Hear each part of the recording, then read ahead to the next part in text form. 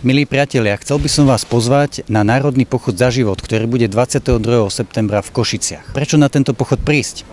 Chceme, na, chceme ním povedať jednu dôležitú vec, že nám záleží na živote úplne každého jedného človeka.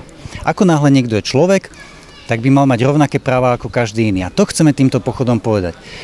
Je to dôležité, pretože v každej dobe sa našli ľudia alebo skupiny ľudí, ktorí boli nejakým spôsobom potlačané, marginalizované, ich práva boli pošliapávané. Aj v dnešnej dobe takí ľudia sú, sú to nenarodené deti, ale sú ohrození aj iní ľudia. Preto je dôležité tú, tú krásnu vznešenú myšlienku, že všetci ľudia sú si rovní, že všetci ľudia majú rovnaké práva, vrátanie práva na život, že ju musíme opakovať, musíme ju hovoriť, aby sa uviedla aj do praxe, aby nezostala len niekde na papieri, ale aby naozaj žila aj v našej legislatíve, aj v praxi.